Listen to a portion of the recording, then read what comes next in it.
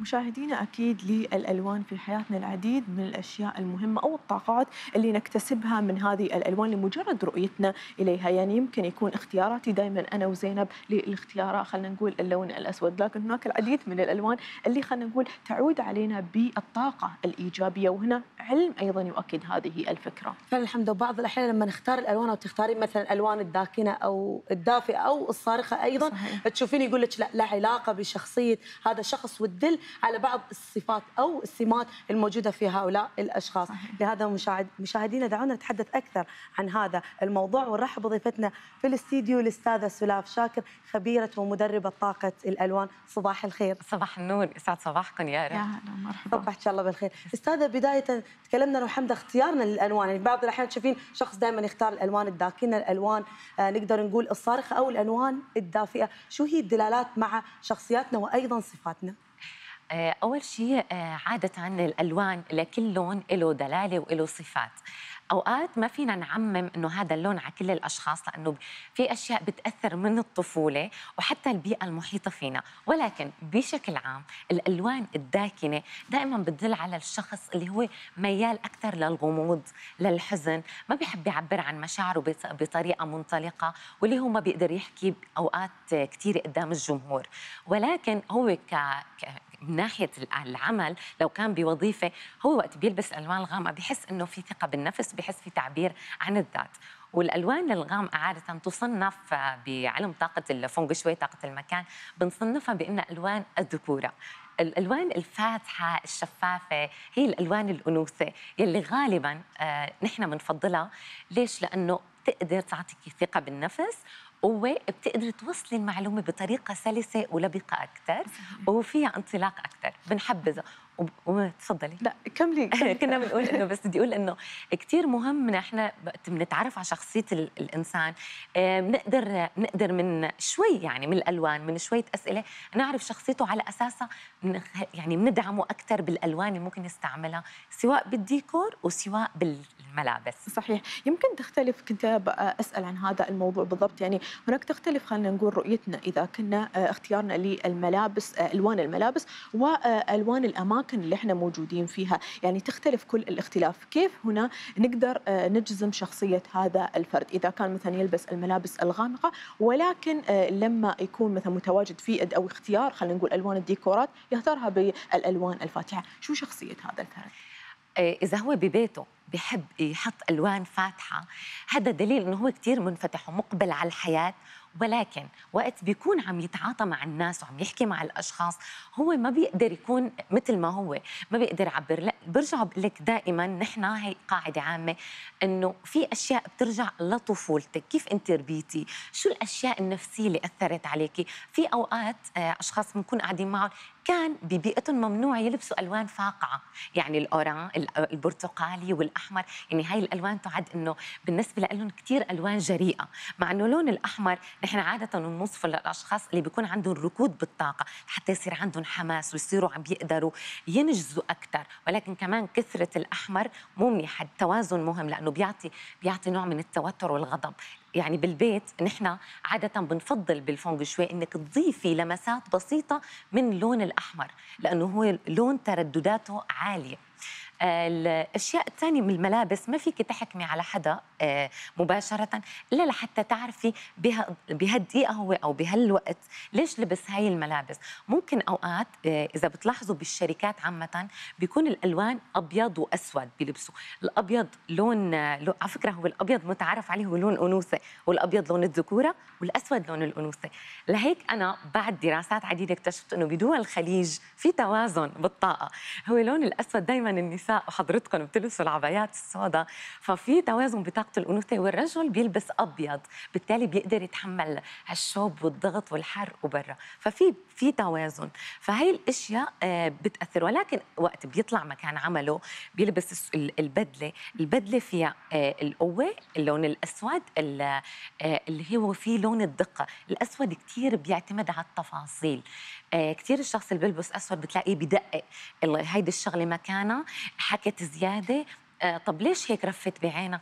اللي بيلبس لون الأبيض الإنسان الواثق من نفسه لأنه اللون الأبيض بده حدا كثير جريء لأنه إذا حدا مش جريء وانتقدتيه شوي بتتأثر شخصيته. وخاصة رح أقول هلأ أول مرة النساء اللي لأغلب السيدات اللي بيعملوا تجميل آه، ينتبهوا من اللون الأبيض. إذا أنت ما كنتي قادرة تواجهي المجتمع بالشيء اللي أنت مقتنعة فيه وبتحبيه حاولي اول أول فترة تلبسي الألوان اللي هي الغامقة شوي تتدرجي بالألوان الفاتحة لتزيد ثقتك بنفسك مشان إذا حدا قال لك عاملة تجميل ليش هيك؟ تكون عندك الرد المناسب يكون في ثقة. لكن نتكلم شوي أستاذة سلاف عن الطاقة. أكيد كنا نحب نبدأ يومنا أو حياتنا يعني بشكل شبه يومي أو بشكل يومي بالطاقة الإيجابية. كيف تأثير هذه الألوان على طاقتنا الإيجابية أو حتى الطاقة السلبية سواء في حياتنا الاجتماعية أو في العمل؟ إذا بدنا نحكي بالنسبة للطاقة أول ما بتقومي الصبح أنا دائما بنصح جميع العملاء عنا إنه يكون عندهم ولو زاويه آه، هي ألوان فاتحة.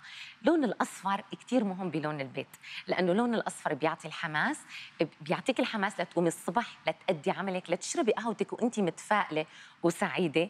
حلو كثير لون الأخضر. دائما يفضل يكون عندك بالبيت كمان لون الأخضر. مثل الديكور أنا لفت نظري الحقيقة. يعني ديكورنا طاقه إيجابية. يعني 100% لأنه أول شيء عندكم توازن. اللون الأخضر بيعطي انسجام بيعطي توازن. اللون الأصفر بيعطي ثقة للإنسان يقدر يحكي وأنتم تريحوا الضيف لحتى يعبر عن نفسه يوصل المعلومة بطريقة بسيطة. بنفس الوقت هو لون قيادي. لون الأصفر الأشخاص اللي بيحبوا القيادة بس بدهم ينتبهوا إنه ما يلبسوا اللون الأصفر كثير بتعلى عندهم الأنا. يعني حتى الأطفال إذا كثير بتحطي لهم بغرفهم لون الأصفر بيأثر إنه دائما بيكون هايبر. أول شيء أوقات ببطل يركز عنده ضياع ضياع. فلهيك هون في توازن بطاقة المكان بالاستديو عند حضرتكم بين الأصفر والأخضر. حقيقة أنا حبيت. شكرا تسلمين. أيضا سلاف يمكن على هذا المنطلق ذكرتي خلينا نقول غرف الأطفال علما بأن إحنا يمكن عندنا فكرة معينة حول هذا الموضوع. دائما ما تكون أو ترتيب غرف الأطفال على حسب جنس هذا الطفل. إذا كان ذكر حطيناها كلها بالألوان الزرقاء أو درجاتها. إذا كان أنثى حطينا درجات الوردي. ولكن أيضا يعني يمكن في بعض الأحيان من هذا المنطلق إحنا إحنا عندنا خلينا نقول تمسك لفكرة معينة ما نقدر نطلع منها. كيف من الممكن نحن نغير ونبدل هاي الألوان أو هاي الفكرة أو المعتقد اللي في بالنا؟ تمام. أوقات في أشياء نحن الموروث تبعنا الثقافي أو العادات والتقاليد هن ورثونا إياها. مين قال إنه لازم الولد دائما يلبس أزرق وغرفته تكون زرقاء؟ مين قال لازم البنت تكون دائما الولد من هو newborn هو blue والبنت من هي newborn تكون pink صحيح. يعني يعني خلاص صار لها فترة عندنا تماما إنه لهلأ هلأ شوي شوي نحن بلشت العالم الحمد لله بفضل حضرتكم والوعي إنه بتجيبوا أشخاص إنه يحكوا على الشيء. صحيح. آه أول شغلة لون الأزرق هو هو لون بيدل على الهدوء والانسجام وهو لون البحر. بس ولكن اللون الأزرق بعلم طاقة الفونغ شوي. هو لون رايح جاي مثل البحر. فانت وقت عم بتحطيه بكثرة وبكثافة بغرفة الطفل فالطفل بصير عنده تردد بأخذ القرارات. فيكم تراقبوا اولادكم يعني مثلا بتصير تقولي له بدك تطلع مثلا بدنا نطلع الساعة 5 ولا الساعة 6 ما بيعرف يقول لك يجزم. ممكن اللي بدك إياه. فلهيك نحن بنكبر وعندنا تردد. هيدا كله بيرجع للاوعي تبعنا. الطفله اللي على طول اهلها حاطين لها لون الوردي ولون البينك هو حقيقة لون شفاف لون النعومة والرقة ولهيك الأنثى بتستخدمه أكثر هو لون أنثوي نحن بنحبزه ولكن مش بكثافة بغرفة الأطفال لأنه إذا الطفلة على طول تعودت إنه يكون بالبيت بغرفتها لون الأنوثة لاحظي إنها هي بتطلع شخصيتها آه، ما رح أقول يعني مش قوية بس هي مو شخصية تعتمد عليها. دائما بدها حدا يكون عم بيدعمها بي أبوها أمها بدها سند. لون الوردي بده لون دائما بده لون داعم.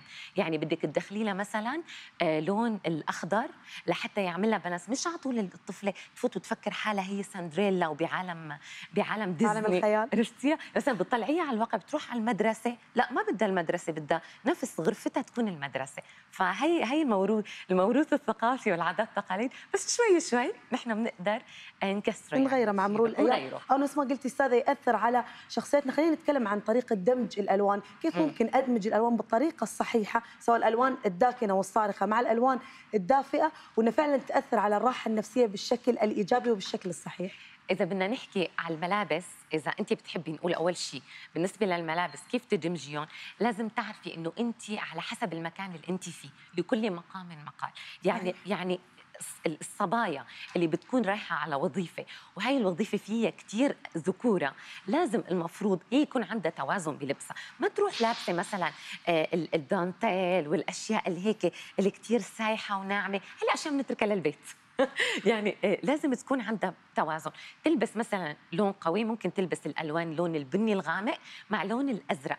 اللون الأزرق دائما نحن بننصح فيه بالمقابلات وبالأشياء بالعمل لأنه بيعطي ثقة بالنفس وبيعطيكي أنت وقت تنظري لهالانسان إنه هو راكز وعنده عنده يعني تجي يقدم لك شغل تحترميه مو مثل وقت يعني معلش تجيكي وحده لابسة لون الوردي أو كلها مثلا ذهبي على الصبح عم تبرق يعني. كمان مهم هي القصة. نفس الشيء للرجل. كل مرات استاذه غير مريح للنظر يعني ما تتقبلينه خاصة في مكان العمل. تماما. يعني أوقات في الأنثى لازم تفرق إنه المساء لبس المساء ولبس السهرات ولبس البيت غير لبس الشغل. الشغل نحن كثير دقيقين فيه وكثير من يعني بنشدد على الألوان فيه. وحتى إذا بتلاحظي في شركات اذكياء كثير بيكونوا حاطين uniform مدروس الألوان سواء كانت لابسة ال dress code أو الكود تماما. تماما. أفضل بكثير. تماما. فكمان بالنسبة للرجل نفس الشيء. الرجل ما لازم كمان إنه يضل لابس الألوان الحادة مشان ما يكون هو كمان بالعمل. هاي برومين ما حكاه يعصب عليه وتحسي إنه بس تحكي كلمة زيادة بده يقيم الشيء يضربك فيه فكمان هو لازم يلبس الأشياء المريحة. حلو يلبس أبيض وأسود. حلو يلبس مثلا يحط الجرافة الألوان الموف الرايقة. مش الموف دائما خاصة لأنه لون الموف الزايد هو يصنف من ألوان الاكتئاب. هلأ بحكي لك عنه بالديكور. ولكن دائما نحن بنقول التوازن التوازن بكل شيء. لحتى كمان وقت يكون هو بمنصبه الناس تحترمه وتقدر كلامه. بالنسبة لديكور البيت دائما آه، الوان البشرة ألوان البنيات ألوان الفخاريات بنفضلها لغرف النوم لأنه مشان تعطيكي راحة وسكينة لحتى تنامي وتهدي. إذا كثير في أشخاص حابين يدخلوا ألوان ممكن تحطوا الألوان آه، المفرش الوردي أو حتى مفرش آه، يكون لونه أزرق بس فاتح البيبي بلو. ما بنفضل الألوان كثير بغرفة النوم حتى العقل الباطن يعني العقل الباطن بده يفوت ينام. إذا انت حاطة كثير ألوان وعجقة ما رح تقدري تنامي. دائما هدول الأشخاص اللي غرفهم لونها أحمر أسود آه، الالوان بنفسجي دائما عندهم أرق. فيكم تراجعوا هاي الأشياء. الغرف الغرف بشكل عام الصالة هيك نحن بنفضل إنك تدمجي الخشب عنصر الخشب يدخل فيها مع الألوان الأصفر الأخضر آه، الأزرق الفاتح بس تكون متناسقة متجانسة مع بعض. أو لون واحد اللي هو يكون البيج وفيك تنوعي بالمخدات مثلا. المهم شيء أنت تكوني يعني مرتاحتي له ولكن ما بنحبذ تحطي كل البيت كنب لون موف لأنه لون الموف هو عبارة عن آه، يعني اندماج عنصر آه، لونين اللي هو الأحمر اللون اللي كثير قوي وتردداته عاليه و hyper واللون الأزرق اللون الرايح جاي. فانت ما في استقرار. وفي أغنية عن اللون البنفسجي إنه لهي بنفسك زهري حزين. فهو زيادته تعطيك طاقه حزن واكتئاب بدون ما تشعري. صحيح يمكن في بداية الحديث سلاف ذكرتي المهن وكيف من ممكن نذهب لبعض المقابلات نرتدي لها بعض آه، آه، خلينا نقول الألوان المناسبة، لكن إحنا نبغى نسأل بما نحن متواجدين اليوم مع بعض آه، شو هي أفضل الالوان اللي خلينا نقول التلفاز سواء كنا خلينا نقول مذيعين أو حتى ضيوف في برنامج خاصة لو كان البرنامج الصبح، شو هي أفضل الألوان؟ يفضل أول شيء حسب الموضوع اللي بدنا نحكي عنه. يعني أنا اليوم مثلا أكيد ما رح أجي لابسة كلي أسود وأنا رح أحكي على البهجة والفرح والطاقة. وثاني شيء أنا بدي اوصل المعلومة بطريقة بسيطة يعني الشيء اللي أنا بحبه وشعاري إنه دائما كل شيء بالبساطة بيوصل. فلون الأصفر بيعبر عن إنك توصل المعلومة بدقة ببساطة وباختصار وبيعطي قوة للشخصية والثقة. الأسود اللي هو بيعمل لي بالانس بين هاللونين يخليني آه، بنفس الوقت عندي دقة أنا وعم بعطيك المعلومة بس ما في تشتت لأنه هو لون الثبات لون الأسود. بالنسبة لألوان الصباح يفضل كل ضيف حسب طبعا الموضوع يحكي عنه ولكن إحنا بنبتعد دائما عن الألوان اللي بتبرق سواء للمذيعات أو للضيف. لا يفضل حتى بالميك أب ملابس آه، أحذية يعني وأنتم بكرامة إنه تكون حتى يعني الأظافر أنا لاحظت ما شاء الله عنكم قديش عنكم توازن. يعني أنا راقبت ما شاء الله الألوان وهيك لأنه كثير عندكم هذا كثير شيء مهم لأنه أوقات المشاهد بيكون عم بيطلع بيتشتت أنا بدي أطلع على اللي عم يبرق فوق عيونه ولا على الخدود الصارخة والدنيا الصبح. اللون الذهبي الفضي وأي شيء فيه لمعة زيادة. يعني حتى الإكسسوارز الضخم نحن ما بنفضله ابدا بال بالمقابلات الصباحية. انت إذا المساء ما عندك مشكلة فيك تلبسي كل الألماس اللي عندك فيك تلبسي تعرضي كل المجوهرات ولكن دائما الأنثى يفضل تبرز انوثتها بطريقة بسيطة. خلص العصر هذه إنك تلبسي كل الأشياء وكل السلاسل والأساور. لا. إن الشيء وايد شايني خلاص راح الحين نتوجه إلى الأشياء السمبل أو الأشياء البسيطة. أستاذ سلافه تكلمنا عن ألوان الألوان في غرف الأطفال لكن نتكلم عن ألوان الغرف الزوجية خاصة في البداية. آه. كيف ممكن يعني يتجهون إلى ألوان تقلل من الضغوطات النفسية؟ وفعلا يعني غرفة النوم تكون مكان لراحة للزوجين وتبعدهم عن الضغوطات النفسية. وأيضا الاجتماعية؟ تمام. آه، أنا هذا الشيء اللي أكثر أكثر شيء عم بواجهه بالاستشارات هي غرف الأزواج. نحن هلأ بال... بال... يعني بالأشياء ال modern اللي طالعة في أشياء طالعة اللي هي اللي هي كثير فخمة ولكن أنا دائما بقول أنا مش مع كل شيء modern. يعني هاي كلهم mirror والضخمة اللون اللي اللي بيكون الداير تبعها مثلا فضي نحاسي ذهبي. يا جماعة بدنا ننتبه بغرف النوم كثير مهم نعرف إنه أول شيء ممنوع المرايا اللي كثير بغرف النوم المرايا طاقتها عالية المرايا بتخزن كل شيء طاقات عم بتصير بغرفة النوم يعني أكيد الواحد ما على طول عم بيفوت ينام هو بطاقة عالية. لهيك نحن بننبه ممنوع نحط المراية أو التسريحة أو آه، الخزانة اللي فيها مرايا قدام التخت. خلونا زي مثل أيام جدودنا كانوا دائما يغطوا. على فكرة يعني هو آه، هو على الفطرة هذا العلم هو على الفطرة. بس نحن على كثر الحداثة ضعنا. وللأسف نحن مو بس ضعنا نحن تعبنا نفسيا وعم ننقل هالشيء للأولاد. ولهيك ممنوع تنامي قدامك مراية لأنه هي بتخزن وبتعكس وبالتالي بتضاعف الطاقة بصير عندك أرق بصير عندك كوابيس. آه، لا يحبذ تكون أمامك. ما بنفضل ابدا إنه آه، تحطي بقلب غرفة النوم آه، مي أو لون الأزرق بكثافة لأنه أنت ونامي هو هو لون البحر فبيعمل لك أرق. لأنه البحر الموج رايح وجاي. لا يفضل لون الأسود لأنه بالفونج شوي يصنف من الألوان المائية. يعني لون البحر بالليل أسود. أسود. فأنت ما فيك انت نايمة ما بتعرفي أنت على كتر على كتر اللون الأسود مثل على بتجيب غرفة سوداء والمفرش أسود وذهبي. أنت مش مش بصالة أنت مش عم تعرضي الأغراض بالصالة وقت الضيوف بيجوكي. غرفة النوم المفروض تكون أقرب للطبيعة البشرية يعني ألوان البشرة. آه فيك تحطي ألوان البيج رقم واحد. آه الحيطان لا يفضل أنك تحطي أوراق الجدران اللي عليها كثير رسومات متداخلة خاصة ألوان خاصة الحيوانات والألوان اللي كثير متضاربة. يعني انت بتطلعي باللوحة مانك فاهمه انتيها يعني بعتذر من الفنانين التشكيليين بس أنا عم أقول بغرفة النوم. فيك تستعملي كل هالأشياء بس بمكان غرفه ثانية. بس مو بكثرة. مو تحطي فوق راسك مثلا انت ونايمة صورة نمر. يعني في أشخاص بتفوتي من إنه كيف كيف حتنامي؟ طاقة النمر طاقة قوية. حيوان قوي كله حركة وحيوية. ف... فنحن على طول بنقول آه شوي شوي خليكم ركزوا كثير بغرفة النوم لأنه أنتم لتنتجوا ثاني يوم لازم ترتاحوا بالنوم. فلاحظي الأشخاص اللي ما بيناموا اللي بيكون عندهم أرق عندهم مش عندهم ما بي... بدي لك ما عندهم الوقت عندهم ما له قيمة. هدول دائما ما بيكونوا مرتاحين بالنوم. دائما عندهم أرق. هذا الشيء يعني كثير يعني نقدر أستاذ سلاف نقول نركز على اختياراتنا في الألوان في الديكورات حتى في الأشكال عشان تعكس طاقة آه، إيجابية سواء على حياتنا الاجتماعية وأيضا على الحالة النفسية. أستاذ سلاف شاكر نورتينا في هذا الصباح. يعطيك العافية. شكرا كثير لكم